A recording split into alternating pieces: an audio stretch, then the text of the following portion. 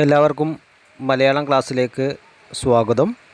ഇന്ന് നമുക്ക് പഠിക്കാനുള്ളത് ബി കല്യാണിയമ്മ എഴുതിയിട്ടുള്ള വ്യാഴവട്ട സ്മരണകൾ എന്ന പുസ്തകത്തിലെ ഏതാനും ചില ഭാഗങ്ങളാണ്.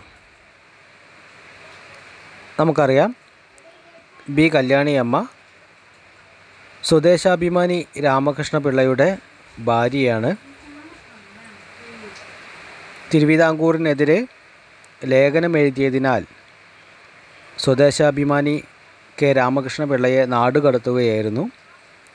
അപ്പോൾ അദ്ദേഹത്തിന്റെ ഓർമ്മകളും ജീവിതവും ഓർത്തെടുക്കുകയാണ് ബി കല്യാണിയമ്മ ഈ പുസ്തകത്തിലൂടെ ചെയ്യുന്നത്. അപ്പോൾ അതിന്റെ വിശദമായ കാര്യങ്ങൾ നമുക്കൊന്ന് നോക്കാം. വ്യാഴവട്ട സ്മരണകൾ എന്ന ഈ ഒരു പാഠഭാഗം ആരംഭിക്കുമ്പോൾ ആദ്യമായി നമുക്ക് കാണുന്നത് സ്വദേശാഭിമാനി പത്രത്തിന്റെ ചില വിവരണങ്ങളാണ്. ബി. കല്യാണിയമ്മ രാമകൃഷ്ണ പിള്ളയുടെ ജീവിതത്തെയും അദ്ദേഹത്തിന്റെ പ്രവർത്തനങ്ങളെയും നോക്കി കാണുകയാണ്. സ്വദേശാഭിമാനി പത്രത്തിന്റെ അച്ചുകൂടം തിരുവനന്തപുരത്തേക്ക് മാറിയതിന് ശേഷമുള്ള ചില കാര്യങ്ങളാണ് ഇവിടെ പറയുന്നത്. പണിക്കാർ വേണ്ടുവോളം ഉണ്ടായിരുന്നില്ല എന്നും അതേപോലെ തന്നെ പണവും വേണ്ടുവോളം ചിലവാക്കാൻ ഉണ്ടായിരുന്നില്ല എന്നും ഈ കാര്യങ്ങളെല്ലാം നോക്കി നടത്തിയത് രാമകൃഷ്ണപിള്ളയാണുമെന്നാണ് ഈ പാഠഭാഗത്തിൽ ആദ്യമായിട്ട് അവരുടെ ഭാര്യയായിട്ടുള്ള കല്യാണിയമ്മ പങ്കുവെക്കുന്നത്. ഈ സ്ഥാപനത്തിലെ സകല ശാഖകളിലും അദ്ദേഹത്തിന്റെ ശ്രദ്ധ പതിയേണ്ടതായി വന്നു. അതിനാൽ പലപ്പോഴും വിശ്രമം കൂടാതെ രാപ്പകൽ പണിയെടുത്തിരുന്നു. പണിക്കാരിൽ ഒരാൾ ഹാജരാകാതിരുന്നാൽ അയാളുടെ പണിമുടക്കം കൊണ്ട് പത്രം പ്രസിദ്ധീകരിക്കാനോ മറ്റ് അച്ചടി വേലകൾ തീർക്കാനോ വൈകിപ്പോകുമെന്ന് ശങ്കിച്ച് പത്രാധിപർ തന്നെ ആ പണികൾ പലപ്പോഴും ചെയ്തിരുന്നു. അച്ചു നിരത്തുന്ന പണി പോലും അദ്ദേഹം ശീലിച്ചിരുന്നു.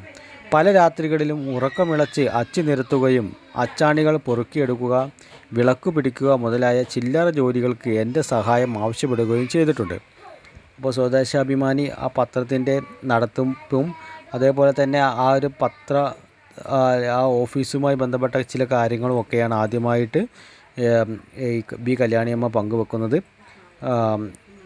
ഏതെങ്കിലും ജോലിക്കാർ പത്രത്തിന്റെ ആ പ്രവർത്തനങ്ങളിൽ ബന്ധപ്പെട്ട് അവധിയിലായിരിക്കുന്ന സമയത്ത് അവരുടെ ജോലി കൂടി സ്വദേശാഭിമാനി രാമകൃഷ്ണപിള്ള ചെയ്തിരുന്നു എന്നും അങ്ങനെയുള്ള ആ ജോലികളിൽ സഹായിക്കുവാൻ ഈ ബി കല്യാണിയമ്മ കൂടി ശ്രമിച്ചിരുന്നുവെന്നുമാണ് ഈ ആദ്യത്തെ പാരഗ്രാഫിൽ പറയുന്നത്. അച്ചുകൂടവും പത്രമാവിസ് മേൽപ്പറഞ്ഞ സ്ഥലത്ത് നിന്നും തിരുവനന്തപുരത്ത് മെയിൻ റോഡിൽ ഒരു കെട്ടിടത്തിൽ മാറ്റിയിട്ടതോടുകൂടി കുളി ഊൺ മുതലായവയിൽ ശ്രദ്ധ കുറഞ്ഞു. ക്രമേണ അദ്ദേഹത്തിന്റെ ആരോഗ്യം ക്ഷയിക്കുകയും പല പ്രാവശ്യം പനി കുര ജലദോഷം മുതലായ സൂക്കേടുകൾ സ്ഥായിയായി പിടിപെടുകയും ചെയ്തു. വിശ്രമം കൂടാതെ ഈ വിധം പണിയെടുത്തു ദീനത്തിൽ വീഴുന്നത് കുറേ കഷ്ടമല്ലേ എന്ന് ഞാൻ സങ്കടം പറഞ്ഞപ്പോൾ ഒരു പണി ഏറ്റുകഴിഞ്ഞാൽ അത് ശരിയായി നിർവഹിക്കാതെ എങ്ങനെ വിശ്രമിക്കും? പത്രം നിശ്ചിത സമയത്ത് പ്രസിദ്ധപ്പെടുത്തിയിട്ടില്ലെങ്കിൽ ജനങ്ങൾക്ക് എന്നിലുള്ള വിശ്വാസം കുറഞ്ഞു പോകും. എന്നെയോ എന്റെ കുടുംബത്തെയോ മാത്രമോ സംബന്ധിക്കുന്ന ഒരു കാര്യമാണെങ്കിൽ എന്റെ സൗകര്യം പോലെ പണി നടത്തിയാൽ മതിയെന്ന് വയ്ക്കാം ഒരു പൊതുജന പ്രതിനിധിക്കു തന്റെ സൗകര്യ അസൗകര്യങ്ങളെ ഗണിപ്പാൻ തരമില്ല എന്ന് സമാധാനം പറഞ്ഞു. ഈ പത്രം ഓഫീസ് തിരുവനന്തപുരത്ത് മാറ്റിയതിന് ശേഷം അതിന്റെ നടത്തിപ്പുമായി ബന്ധപ്പെട്ട് കുറേ സമയം രാമകൃഷ്ണപിള്ള പ്രവർത്തിച്ചിരുന്നുവെന്നും കുളിയും ഊണും അദ്ദേഹത്തിന്റെ ദിനചര്യകളെല്ലാം തന്നെ താളം തെറ്റിയിരുന്നുവെന്നും അദ്ദേഹത്തിന്റെ ഭാര്യ ഇവിടെ രേഖപ്പെടുത്തിയിരിക്കുന്നു. പലപ്പോഴും അദ്ദേഹത്തിന് അസുഖങ്ങൾ വരുന്നതായിട്ടും ഭാര്യ പറയുകയാണ്. ഇങ്ങനെ ശരീരം നോക്കാതെ ഈ വിശ്രമം ഇല്ലാതെ പണിയെടുത്താൽ വലിയ അസുഖങ്ങളെല്ലാം വന്നുപെടുമെന്ന് കല്യാണിയമ്മ രാമകൃഷ്ണപിള്ളയെ ഓർമ്മിപ്പിക്കുന്ന സമയത്ത് ഞാൻ നടത്തുന്ന ഒരു പത്രമാണെന്നും അതിന് ചില ഉത്തരവാദിത്തങ്ങളുണ്ട് എന്നും കൃത്യസമയത്ത് തന്നെ പത്രം പ്രസിദ്ധീകരിച്ചിട്ടില്ലെങ്കിൽ എന്നിൽ ആളുകൾ വരുത്തിയിരിക്കുന്ന ആ വിശ്വാസത്തിന് ഭംഗം വരുമെന്നുമാണ് ഇവിടെ രാമകൃഷ്ണപിള്ള പറയുന്നത്. അപ്പോൾ പത്രം നടത്തിപ്പുമായി ബന്ധപ്പെട്ട് രാമകൃഷ്ണപിള്ളയുടെ ആത്മാർത്ഥമായ പ്രവർത്തനമാണ് ഈ ഒരു പാരഗ്രാഫിൽ അവരുടെ ഭാര്യ പങ്കുവെക്കുന്നത്. അടുത്ത ഭാഗം നോക്കാം. മൂന്ന് കൊല്ലവും രണ്ടു മാസവും അദ്ദേഹം ഇങ്ങനെ പൊതുജനങ്ങൾക്ക് വേണ്ടി തന്റെ ആരോഗ്യത്തെ ബലി കഴിച്ചു. ഇതിൽ ആദ്യത്തെ കൊല്ലം പത്രം ആഴ്ചയിൽ ഒന്ന് വീതവും രണ്ടാം കൊല്ലം രണ്ട് വീതവും ഒടുവിൽ ആഴ്ചയിൽ മൂന്ന് വീതവും പ്രസിദ്ധപ്പെടുത്തി. അപ്പോൾ പത്രത്തിന്റെ നടത്തിപ്പുമായി ബന്ധപ്പെട്ട കാര്യമാണ് പറയുന്നത്. മൂന്ന് കൊല്ലമാണ് അദ്ദേഹം പത്രം നടത്തിയത്. ആദ്യം ആഴ്ചയിൽ ഒന്ന് വീതമായിരുന്നെങ്കിൽ പിന്നീട് രണ്ട് വീതവും. അവസാന കാലഘട്ടത്തിൽ മൂന്ന് വീതവും പത്രം പുറത്ത് ഇറക്കാൻ അദ്ദേഹത്തിന് സാധിച്ചു. ഇനി പത്രത്തോടൊപ്പം തന്നെ മാസികകളും പുറത്തിറക്കുന്നതിൽ അദ്ദേഹം ശ്രദ്ധിച്ചിരുന്നു. അതാണ് ഇനി പറയുന്നത്. ഇതോടൊന്നിച്ച് കേരളനും ശാരദയും നടത്തുന്നുണ്ടായിരുന്നു. എന്നാൽ ഈ മാസികകൾ രണ്ടും പത്രത്തെ പോലെ അത്ര കണിശമായ കണിശമായി പ്രസിദ്ധപ്പെടുത്തുവാൻ സാധിച്ചില്ല. അപ്പോൾ കേരളൻ ശാരദ ഇത് രണ്ടും മാസികകളാണ്. ഇതും പത്രത്തോടൊപ്പം തന്നെ പ്രസിദ്ധീകരിക്കുവാൻ അദ്ദേഹം ശ്രദ്ധിച്ചിരുന്നു എന്നാണ് പറയുന്നത്. കേരളൻ ആണ്ടിൽ ആറ് പുസ്തകങ്ങൾ വീതം മാത്രമേ പ്രസിദ്ധീകരിച്ചിരുന്നുള്ളൂ. ശാരദയും നിശ്ചിത സമയത്ത് പുറത്തിറങ്ങിയിരുന്നില്ല. അപ്പോൾ കൃത്യമായി പത്രത്തെ പോലെ ആഴ്ചയിൽ ഒന്ന് അല്ലെങ്കിൽ രണ്ട് ആ രീതിയിൽ പുറത്തിറക്കാൻ മാസിക പുറത്തിറക്കാൻ അദ്ദേഹത്തിന് സാധിച്ചിരുന്നില്ല. കേരളൻ ശാരദ ഈ രണ്ട് മാസികകൾ കൂടി അദ്ദേഹം പുറത്തിറക്കിയിരുന്നു. എന്നാൽ കൃത്യമായ ഒരു സമയം പാലിക്കാൻ അദ്ദേഹത്തിന് കഴിഞ്ഞിരുന്നില്ല എന്നാണ് ഇവിടെ ഭാര്യ രേഖപ്പെടുത്തുന്നത്. ഇതിന് മധ്യേ അദ്ദേഹം നിയമ ക്ലാസ്സിലും രണ്ടു കൊല്ലം ഹാജരായി. ഇനി പത്ര നടത്തിപ്പിന്റെ അതേ സമയം തന്നെ അദ്ദേഹം നിയമം പഠിക്കുവാൻ സമയം ചെലവഴിച്ചിരുന്നു എന്നാണ് ഭാര്യ പറയുന്നത്. എന്നാൽ ക്ലാസ്സിൽ ഹാജരായതല്ലാതെ പഠിപ്പാൻ ശ്രദ്ധിച്ചിരുന്നില്ല. പരീക്ഷയ്ക്ക് ഒരു മാസം മുമ്പായി എന്റെ നിർബന്ധത്താലും പലപ്പോഴും എന്റെ ആവശ്യത്തിനായും പണി മറ്റാരെങ്കിലും ഏൽപ്പിച്ചിട്ട് മദിരാശിക്ക് പോവുക പതിവുണ്ടായിരുന്നു.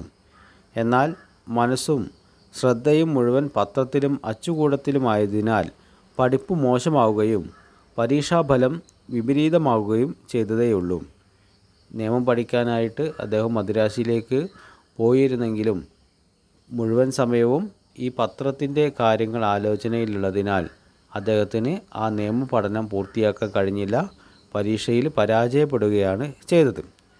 ഒടുവിലത്തെ കൊല്ലം പഠിപ്പ് തീരെ വേണ്ടെന്ന് വെച്ചു. അങ്ങനെ നിയമപഠനം ഉപേക്ഷിക്കുകയും പൂർണമായി പത്രപ്രവർത്തനത്തിലേക്ക് തന്നെ തിരിച്ചു വരികയും ചെയ്തു. വിദ്യാർത്ഥി എന്ന നാമധേയത്തിൽ വേറൊരു മാസിക കൂടി തുടങ്ങി.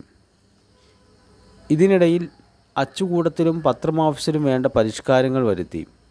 അച്ചടി സാമഗ്രികൾ വർദ്ധിപ്പിക്കുകയും പണിക്കാരെ കൂടുതലായി നിയമിക്കുകയും പത്രമാഫീസിനോട് ചേർത്ത് ഒരു പുസ്തകശാല സ്ഥാപിക്കുകയും ചെയ്തു. അപ്പോൾ കൂടുതൽ സമയം ഇനി പത്രപ്രവർത്തനവുമായി ബന്ധപ്പെട്ട് ചിലവഴിക്കാനാണ് സ്വദേശാഭിമാനി രാമകൃഷ്ണപിള്ള തീരുമാനിക്കുന്നത്. പത്രത്തിന്റെ വിപുലനത്തിന് ആവശ്യമായ കാര്യങ്ങളൊക്കെ ചെയ്തു. കൂടുതൽ പണിക്കാരെ വെക്കുകയും കൂടുതൽ യന്ത്രസാമഗ്രികളെല്ലാം വാങ്ങുകയും ഒക്കെ ചെയ്തു. അങ്ങനെ പത്രപ്രവർത്തനത്തെ കൂടുതൽ മുന്നോട്ട് കൊണ്ടുപോകാനാണ് അദ്ദേഹം ശ്രമിക്കുന്നത്. പത്രത്തിനും മാസികകൾക്കും പരിക്കാർ വർദ്ധിക്കുകയും ഇവയുടെ പണിക്ക് പുറമെ അച്ചുകൂടത്തിൽ മറ്റു പണികൾ നടത്തുന്നതിന് വേണ്ട ഏർപ്പാടുകൾ ഉണ്ടാക്കുകയും ചെയ്തു. ഇങ്ങനെ പൊതുജന സഹായത്താലും തന്റെ അതിപ്രയത്നത്താലും മേൽപ്പറഞ്ഞ ഏർപ്പാടുകളൊക്കെ ശരിക്കും നടന്നു പോരുകയും തന്റെ പ്രയത്നത്തിനു തക്കതെങ്കിലും അത്യാവശ്യങ്ങൾക്ക് മതിയാകത്തക്ക ഒരു ചെറിയ തുക അദ്ദേഹത്തിന് ലാഭം കിട്ടുകയും ചെയ്തിരുന്നു. അങ്ങനെ പത്രം നല്ല രീതിയിൽ തന്നെ മുന്നോട്ട് പോയി. കൂടുതൽ പണിക്കാരെ വെക്കുകയും കൂടുതൽ ആ പത്രത്തിന് പ്രചാരം ലഭിക്കുകയും ഒക്കെ ചെയ്തു. അതിന്റെ ഭാഗമായിട്ട് കൂടുതൽ വരിക്കാരെ അദ്ദേഹത്തിന് ലഭിക്കുകയും പത്രം നല്ല രീതിയിൽ തന്നെ നടക്കുകയും കൂടുതൽ ലാഭം ലഭിക്കുകയും ചെയ്തു എന്നാണ് പറഞ്ഞത്. അപ്പോൾ ഇത്രയും നല്ല രീതിയിൽ ഈ പത്ര പ്രവർത്തനം നടത്തിക്കൊണ്ടിരിക്കുമ്പോഴാണ് അദ്ദേഹത്തിന് മറ്റൊരു തിരിച്ചടി ഉണ്ടാകുന്നത് അതിനെക്കുറിച്ചാണ് അടുത്തൊരു പാരഗ്രാഫിൽ പറയുന്നത്. സ്വദേശാഭിമാനി രാമകൃഷ്ണപിള്ളയെ ആയിരത്തി തൊള്ളായിരത്തി പത്ത് സെപ്റ്റംബർ ഇരുപത്തിയാറാം തീയതിയാണ് നാട് കടത്തുന്നത്. അപ്പോൾ അന്നേ ദിവസം ഉണ്ടായ ചില സംഭവങ്ങളാണ് അടുത്തതായി ഭാര്യ രേഖപ്പെടുത്തുന്നത്. ആയിരത്തി തൊള്ളായിരത്തി പത്ത് സെപ്റ്റംബർ ഇരുപത്താറാം തീയതി ഉണ്ടായ ഗവൺമെന്റ് നടപടിയാൽ മേൽപ്പറഞ്ഞ പണികളൊക്കെ അദ്ദേഹത്തിൽ നിന്നും വിട്ടുമാറുകയും അദ്ദേഹം സ്വതന്ത്രനായി സ്വസ്ഥനായി തിരുവിതാംകൂർ അതിർത്തി വിട്ട് ബ്രിട്ടീഷ് രാജ്യത്തിൽ പ്രവേശിക്കുകയും ചെയ്തു. ദീർഘകാലമായി അർഹിച്ചിരുന്ന വിശ്രമം ഈ വിധത്തിലാണ് ജഗദീശ്വരൻ അദ്ദേഹത്തിന് കരുണാപൂർവം നൽകിയത്. അപ്പോൾ ഈ രീതിയിലാണ് ഭാര്യ അദ്ദേഹത്തിന്റെ നാടുകടത്തലിനെ രേഖപ്പെടുത്തുന്നത്. അതായത് കുറേ കാലം പത്രപ്രവർത്തനവുമായി ബന്ധപ്പെട്ട് വിശ്രമമില്ലാതെ അദ്ദേഹം ജോലി ചെയ്യുകയായിരുന്നു. ഇനി അദ്ദേഹത്തിന് അല്പം വിശ്രമം നൽകാമെന്ന് ഈശ്വരൻ തീരുമാനിച്ചതാണ് അദ്ദേഹത്തിന്റെ നാടുകടത്തലെന്ന് ആണ് ഇവിടെ ഭാര്യ പറയുന്നത്. തിരുവിതാംകൂർ രാജാവിനെതിരെ ലേഖനം എഴുതിയതിനാൽ രാമകൃഷ്ണപിള്ളയെ തമിഴ്നാട്ടിലേക്ക് നാടുകടത്തുകയാണ് ഉണ്ടായത്. ആ സംഭവമാണ് ഇവിടെ പറഞ്ഞത്. അദ്ദേഹത്തിന്റെ ആ തിരക്ക് പിടിച്ച വിശ്രമമില്ലാത്ത ജീവിതത്തിന് കിട്ടിയിട്ടുള്ള ഒരു കാര്യമാണ് ഈ നാടുകടത്തൽ എന്നാണ് ഭാര്യ പറയുന്നത്. ഇനി അദ്ദേഹത്തിന് സ്വസ്ഥനായി പത്രപ്രവർത്തനവും മറ്റ് തിരക്കുകളുമില്ലാതെ മറ്റൊരു സ്ഥലത്ത് അദ്ദേഹത്തിന് താമസിക്കാമെന്നാണ് ഭാര്യ ഇവിടെ പറയുന്നത്. അപ്പോൾ അന്നേ ദിവസത്തെ കാര്യങ്ങളെ ഒന്ന് ഓർത്തെടുക്കുകയാണ് ബി കല്യാണിയമ്മ. സ്മരണീയമായ ആ ദിവസം ഉച്ചതിരിഞ്ഞ് ഭർത്താവിന്റെ പത്രം ഓഫീസിൽ എന്തോ ചില സംഭവങ്ങൾ നടക്കുന്നുണ്ടെന്നും എന്റെ സാന്നിധ്യം വീട്ടിൽ ആവശ്യമായേക്കുമെന്നും അദ്ദേഹത്തിന്റെ ഒരു സ്നേഹിതം എന്നെ അറിയിച്ചു. ഉടനെ തന്നെ ഞാൻ പാഠശാലയിൽ നിന്നും കൽപ്പന വാങ്ങി വീട്ടിലേക്ക് പുറപ്പെട്ടു. വഴിമധ്യേ പല ദിക്കുകളിലും ജനങ്ങൾ കൂട്ടം കൂടി നിന്ന് വണ്ടിയിൽ പോയിരുന്ന എന്നെ അനുകമ്പാപൂർവം നോക്കിയിരുന്നു. ഞാൻ വീട്ടിലെത്തി പടി കടന്നപ്പോൾ വീട് മുഴുവൻ ആൾ നിറഞ്ഞിരിക്കുന്നു. അവരുടെ ഇടയിൽ ഏതാനും പോലീസുകാർ നിൽക്കുന്നത് കണ്ടു. ഭർത്താവ് ഒരു വേള ഇക്കൂട്ടത്തിൽ ഉണ്ടായേക്കുമെന്ന് ആദ്യം ഞാൻ സംശയിച്ചു. ആരെയും നോക്കാതെയും ഒന്നും ചോദിക്കാതെയും വേഗത്തിൽ എന്റെ മുറിക്കുള്ളിൽ അഭയം പ്രാപിക്കാമെന്ന് വിചാരിച്ചു കോലായിൽ കയറി കയ്യിലുണ്ടായിരുന്ന താക്കോൽ കൊണ്ട് മുറിയുടെ വാതിൽ തുറക്കുവാൻ തുടങ്ങി. വാതിൽ മുദ്ര വച്ചിരിക്കുകയാണ്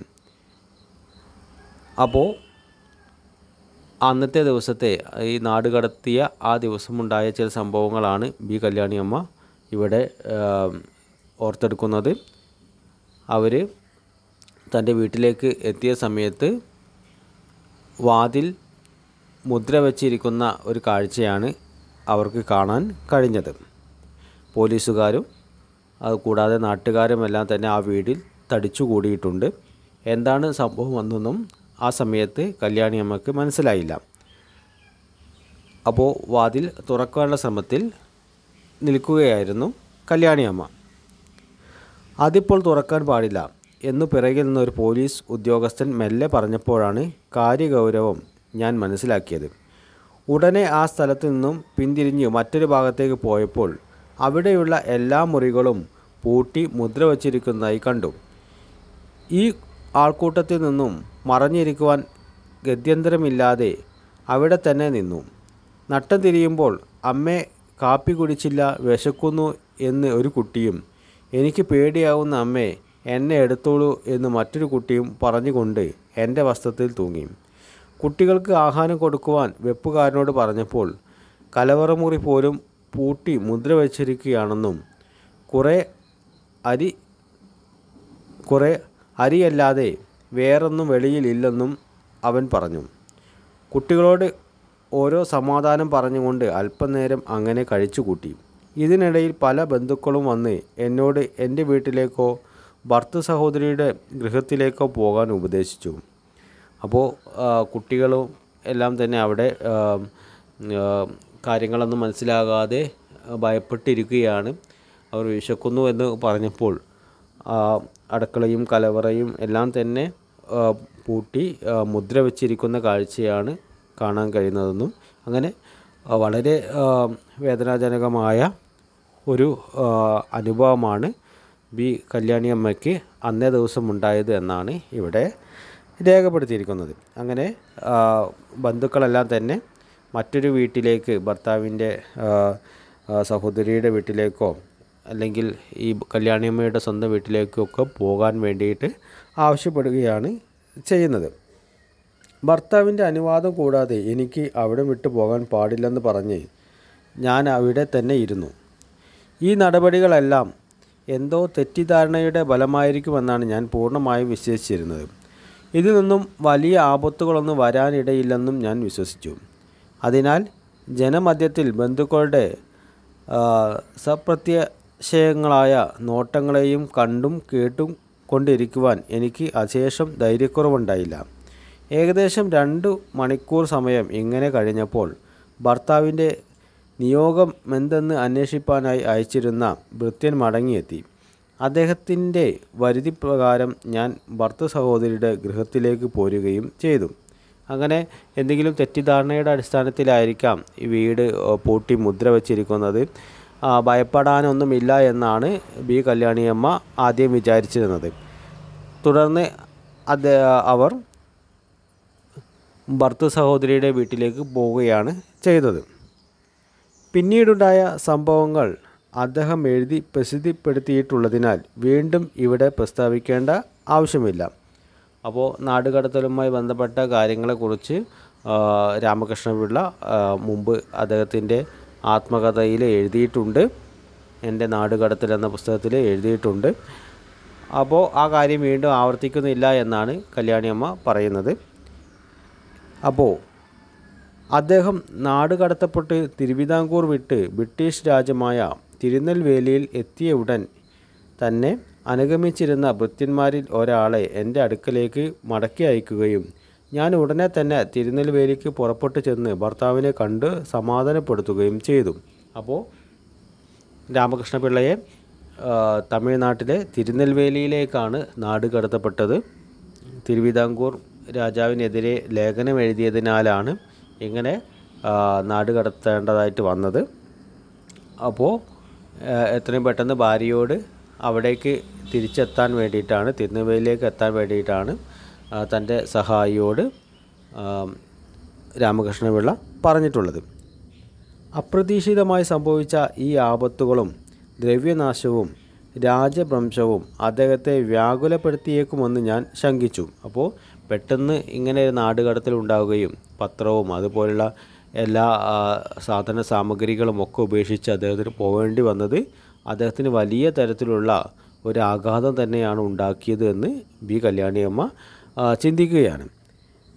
എന്നാൽ എന്റെ ശങ്ക തീരെ അസ്ഥാനത്തായിപ്പോയി ഞാനും കുട്ടികളും തിരുനെൽവേലി എത്തിയ സമയം ഞങ്ങളെ എതിരേറ്റ് തന്റെ തൽക്കാല വാസസ്ഥലമായ സത്തത്തിലേക്ക് കൂട്ടിപ്പോ പോകാനായി അദ്ദേഹം തീവണ്ടി സ്റ്റേഷനിൽ കാത്തു നിന്നിരുന്നു. ഉടുത്ത വസ്ത്രത്തോടു കൂടി മാത്രം നാട് വിട്ടു പോകേണ്ടി വന്നതിനാൽ ഞങ്ങൾ ചെന്ന് ചേർന്നതുവരെ കുളിച്ച് വസ്ത്രം മാറുന്നതിന് മറ്റു വസ്ത്രമോ കുപ്പായമോ ഇല്ലായിരുന്നു. പുതിയത് വാങ്ങി ഉപയോഗിക്കുന്നതിന് കയ്യിൽ കാശുമില്ലായിരുന്നു. അതിനാൽ യാത്ര കൊണ്ട് ക്ഷീണിച്ച് മലിന വസ്ത്രധാരിയായിട്ടാണ് അദ്ദേഹം അവിടെ കാണപ്പെട്ടത്. അപ്പോൾ ധരിച്ച വസ്ത്രത്തോടു കൂടി അദ്ദേഹത്തെ നാട് കടത്തുകയായിരുന്നു കുറച്ച് ദിവസമായതിനാൽ കുറച്ച് ക്ഷീണം അദ്ദേഹത്തിന്റെ മുഖത്തൊക്കെ കാണാൻ കഴിഞ്ഞിരുന്നു. മുഖത്ത് വളർന്നു നിന്നിരുന്ന ശ്മശ്ര ശകലങ്ങൾ മുഖശോഭയെ ഏതാണ്ട് മറച്ചിരുന്നു. എന്നാൽ ആ കണ്ണുകൾ ആ തേജോഗോളങ്ങളുടെ പ്രഭയെ കുറയ്ക്കുന്നതിന് യമദൂതന്മാർക്കല്ലാതെ മറ്റാർക്ക് കഴിയും? അദ്ദേഹത്തിന്റെ മുഖത്ത് അല്പം ക്ഷീണമെല്ലാം ഉണ്ടായിരുന്നുവെങ്കിലും അദ്ദേഹത്തിന്റെ കണ്ണുകളിൽ അത്തരം ക്ഷീണമൊന്നുമില്ല എന്നും ആ ഒരു കണ്ണിന്റെ ആ ശോഭയെ ഇല്ലാതെയാക്കാൻ യമദൂതന്മാർക്ക് അല്ലെങ്കിൽ മരണത്തിനല്ലാതെ മറ്റാർക്കും കഴിയില്ല എന്നാണ് ഭാര്യ ഇവിടെ സാക്ഷ്യപ്പെടുത്തുന്നത്. ധൈര്യവും സ്ഥൈര്യവും സ്നേഹവും കരുണയും ഒന്നുപോലെ പ്രതിബിംബം പ്രതിബിംബിച്ചിരുന്ന ആ പുണ്യനേത്രങ്ങളാൽ ചെയ്ത ഒരൊറ്റ കടാശത്താൽ എന്റെ സകല ഭയങ്ങളും ആശങ്കകളും സൂര്യസാന്നിധ്യത്തിൽ ഇരുളെന്ന പോലെ ഓടിയൊളിച്ചു. അപ്പോൾ രാമകൃഷ്ണപിള്ള വളരെയധികം ദുഃഖിതനായിട്ടായിരിക്കും തിരുനെൽവേലിയിൽ കഴിയുക എന്നായിരുന്നു കല്യാണിയമ്മ വിചാരിച്ചിരുന്നത്. പക്ഷേ അദ്ദേഹത്തിന്റെ മുഖത്ത് ക്ഷീണമുണ്ടെങ്കിലും അദ്ദേഹത്തിന്റെ കണ്ണുകളിൽ ആ തിള ആ തെളിച്ചം കല്യാണിയമ്മയെ കൂടുതൽ ആവേശഭരിതയാക്കുകയാണ് ചെയ്തത്. തന്റെ എല്ലാ ആശങ്കകളും ആ ഒരൊറ്റ നോട്ടം കൊണ്ട് തന്നെ ഇല്ലാതെയായി എന്നാണ് കല്യാണിയമ്മ പറയുന്നത്. സൂര്യൻ ഉദിച്ചു വരുമ്പോൾ ഇരുകൾ ഇരുൾ അല്ലെങ്കിൽ ഇരുട്ട് ഇല്ലാതെയാകുന്നത് പോലെ എല്ലാ ആശങ്കയും ഇല്ലാതെയായി എന്നാണ് കല്യാണിയമ്മ പറയുന്നത്. മലകളിളകിലും മഹാജനനാം മനമിളക എന്ന മഹത് വചന തത്വം ഈ അവസരത്തിൽ എനിക്ക് അനുഭവസിദ്ധമായി എന്ന് ഇവിടെ കല്യാണിയമ്മ വിശേഷിപ്പിക്കുകയാണ്. അപ്പം മലകൾ ഇളകിയാലും അദ്ദേഹത്തിന്റെ മനസ്സ് ഇളകുകയില്ല എന്നുള്ള ഒരു കാര്യമാണ് ഇവിടെ പറയുന്നത്. നാട് കടത്തപ്പെട്ട് തിരുനെൽവേലിയിൽ രാമകൃഷ്ണ കഴിയുകയാണ്. ഭാര്യ അവരെ സന്ദർശിക്കുകയും രാമകൃഷ്ണപിള്ളയുടെ കാര്യങ്ങൾ ചോദിച്ചറിയുകയൊക്കെ ചെയ്യുന്നുണ്ട്. അപ്പോൾ അദ്ദേഹത്തിന്റെ ഒരു മനോനിലയാണ് ഇനി അടുത്തൊരു ഭാഗത്ത് പറയുന്നത്. കഴിഞ്ഞ സംഭവങ്ങളെപ്പറ്റിയും ഞങ്ങളുടെ ഭാവിയെപ്പറ്റിയും ഞങ്ങൾ പലതും സംസാരിക്കുകയും ആലോചിക്കുകയും ചെയ്തിരുന്ന മധ്യേ അദ്ദേഹം ഇങ്ങനെ പറഞ്ഞു. തിരുവിതാംകൂറിനോടുള്ള എന്റെ ബന്ധം ഏർപ്പെട്ടു. മാതൃഭൂമിയോടുള്ള എന്റെ കടമ ഞാൻ നിർവഹിച്ചു കഴിഞ്ഞു. എനിക്കിനി അവിടേക്ക് മടങ്ങി പോകണമെന്ന് ആഗ്രഹമില്ല. അതിനിട വരികയുമില്ല. എന്റെ വൃദ്ധയായ മാതാവിനെ കണ്ടു വിടവാങ്ങി പോരാൻ സാധിച്ചിട്ടില്ലെന്നുള്ള ഒരൊറ്റ മനസ്താപമേ എനിക്കുള്ളൂ. ഇനി ഈശ്വര സന്നിധിയിൽ ഞങ്ങൾ തമ്മിൽ കണ്ടുകൊള്ളാം. അപ്പോൾ ആ നാട് കടത്തപ്പെട്ട് തിരുനെവേലിയിലെത്തിയ സമയത്ത് രാമകൃഷ്ണപിള്ളയ്ക്ക് ഒരൊറ്റ പ്രയാസം മാത്രമേ ഉള്ളൂ അത് അമ്മയെ കണ്ട് യാത്ര പറയാൻ സാധിച്ചില്ല എന്നുള്ള കാര്യം മാത്രമാണ്. ഇനി ഒരിക്കലും എനിക്ക് തിരുവിതാംകൂറിലേക്ക് മടങ്ങി പോകാൻ സാധിക്കില്ല. എന്നെ നാട് കടത്തിയതാണ്. ഇനി ആ പ്രദേശത്തേക്ക് ഒരിക്കലും തിരിച്ചു പോകാൻ കഴിയില്ല. അപ്പോൾ ഇനി അമ്മയെ സ്വർഗലോകത്ത് വെച്ച് കണ്ടുമുട്ടാമെന്നാണ് രാമകൃഷ്ണപിള്ള പറയുന്നത്. എന്റെ എല്ലാ കടമകളും ഞാൻ എന്റെ രാജ്യത്തിന് വേണ്ടി നിർവഹിച്ചു കഴിഞ്ഞു എന്നുള്ള ആ ഒരു ആശ്വാസത്തിലും അല്ലെങ്കിൽ ആ ഒരു ചാരിതാർത്ഥ്യത്തിലുമാണ് രാമകൃഷ്ണപിള്ള. മറ്റൊരു പ്രദേശത്ത് അല്ലെങ്കിൽ നാട് കടത്തപ്പെട്ട് തിരുനെവേലിയിൽ കഴിയുന്നത്. അപ്പോൾ ഈ നാട് കടത്തലിന് ശേഷം ഉണ്ടായിട്ടുള്ള രാമകൃഷ്ണപിള്ളയുടെ ഒരു മാനസിക നിലയെയാണ് ബി കല്യാണി അമ്മ ഈ ലേഖനത്തിലൂടെ പറഞ്ഞിട്ടുള്ളത്. അപ്പോൾ ഇത്രയുമാണ് ഈ ഒരു പാഠഭാഗത്തിൽ പറയുന്ന ചില കാര്യങ്ങൾ. പാഠഭാഗത്തിന്റെ പഠന പ്രവർത്തനങ്ങളൊന്ന് പരിശോധിക്കാം. നാല് ചോദ്യങ്ങളാണ് ഇവിടെ നൽകിയിട്ടുള്ളത്. ഒന്നാമത്തെ ചോദ്യം. ഒരു സഹപ്രവർത്തകയുടെയും കുടുംബിനിയുടെയും ഭാവങ്ങൾ ഈ സ്മരണയിൽ തെളിയുന്നത് എങ്ങനെ എന്ന് വിശദീകരിച്ച് കുറിപ്പെഴുതുക കല്യാണി അമ്മ ഈ ഒരു ആത്മകഥയിൽ പറയുന്ന ചില കാര്യങ്ങളിൽ നോക്കുമ്പോൾ സഹപ്രവർത്തകയായിട്ടും കുടുംബിനിയായും ഒരേ സമയം പ്രവർത്തിക്കുന്നുണ്ട്. രാമകൃഷ്ണപിള്ളയുടെ പത്രപ്രവർത്തനത്തിൽ സഹായിയായിട്ട് കല്യാണിയമ്മയെ കാണുന്നു. അതേസമയം രാമകൃഷ്ണ പിള്ളയുടെ ഭാര്യയും കുട്ടികളുടെ അമ്മയും ഒക്കെയായിട്ട് നല്ലൊരു കുടുംബിനിയായിട്ട് കൂടെ ഇവിടെ കല്യാണിയമ്മയെ കാണുന്നുണ്ട്. അപ്പോൾ ആ കാര്യങ്ങളെ കുറിച്ചിട്ടാണ് ഈ ചോദ്യം ചോദിച്ചിട്ടുള്ളത്. അപ്പോൾ ഒരേ സമയം രാമകൃഷ്ണ പിള്ളയുടെ പത്രപ്രവർത്തനത്തിൽ സഹായിയായിട്ട് പ്രവർത്തിക്കുവാൻ കല്യാണിയമ്മക്ക് സാധിച്ചു. അതോടൊപ്പം അദ്ദേഹത്തിന്റെ ഭാര്യയും കുട്ടികളുടെ അമ്മയൊക്കെ ആയിട്ട് നല്ലൊരു കുടുംബിനിയായിട്ട് കൂടി കഴിയുവാൻ കല്യാണിയമ്മയ്ക്ക് സാധിച്ചിട്ടുണ്ട് എന്നാണ് ഇവിടെ ഉത്തരമായി എഴുതേണ്ടത്. രണ്ടാമത്തെ ചോദ്യം. വിശ്രമം കൂടാതെ ഈ വിധം പണിയെടുത്ത് ദീനത്തിൽ വീഴുന്നത് കഷ്ടമല്ലേ? എന്നു സമാധാനം പറഞ്ഞു. സ്വദേശാഭിമാനി രാമകൃഷ്ണപിള്ളയ്ക്ക് പത്രപ്രവർത്തനം എന്ന തൊഴിലിനോടും സമൂഹത്തിനോടുമുള്ള പ്രതിജ്ഞാബദ്ധത ഈ ഭാഗത്ത് തെളിയുന്നതെങ്ങനെ? അപ്പോൾ അദ്ദേഹം പറയുന്ന ഒരു വാക്യമാണ് ഇവിടെ കൊടുത്തിട്ടുള്ളത്. വിശ്രമമില്ലാതെ അദ്ദേഹം പണിയെടുക്കുകയാണ്.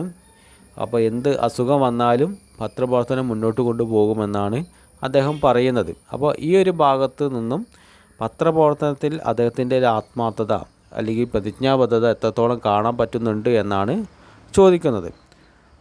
തീർച്ചയായിട്ടും നമുക്ക് അതിന് ഉത്തരം പറയേണ്ടത് എങ്ങനെയാണ് പത്രപ്രവർത്തനത്തെ അദ്ദേഹം ആത്മാർത്ഥമായിട്ട് തന്നെയാണ് കണ്ടിട്ടുള്ളത്.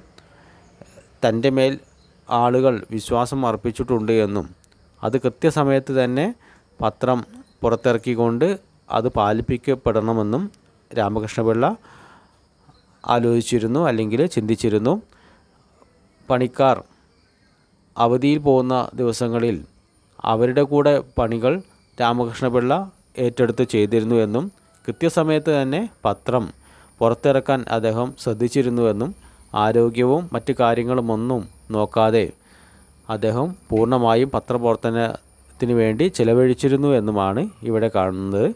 അപ്പോൾ ആ നിലയ്ക്ക് പത്രപ്രവർത്തനത്തിന്റെ അദ്ദേഹം പ്രതിജ്ഞാബദ്ധതയോടുകൂടി തന്നെ കണ്ടിരുന്നു എന്നതാണ് ഇവിടെ നമുക്ക് ഉത്തരമായി എഴുതേണ്ടത്. മൂന്നാമത്തെ ചോദ്യം.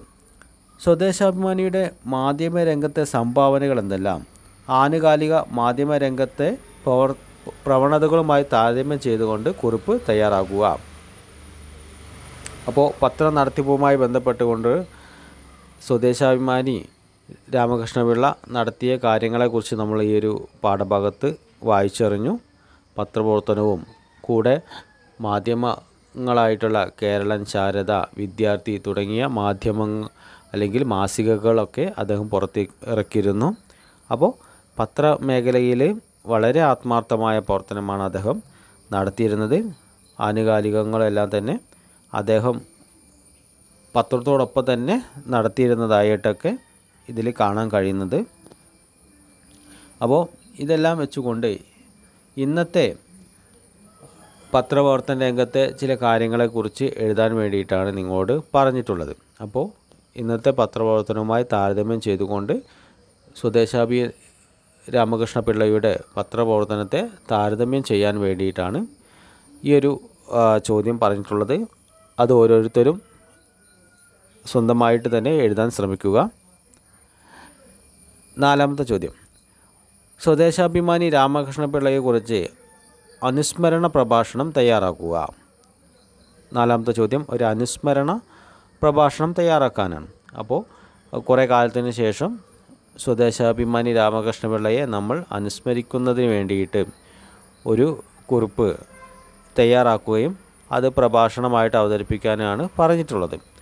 അപ്പോൾ അനുസ്മരണ പ്രഭാഷണം തയ്യാറാക്കാൻ വേണ്ടിയിട്ട് നമുക്കറിയാം ആ വ്യക്തിയുടെ വ്യക്തി സവിശേഷതകളും അത് അവരുടെ പ്രവർത്തനങ്ങളും ഒക്കെ കൃത്യമായി രേഖപ്പെടുത്തിയിട്ടാണ് അനുസ്മരണ പ്രഭാഷണം തയ്യാറാക്കേണ്ടത്.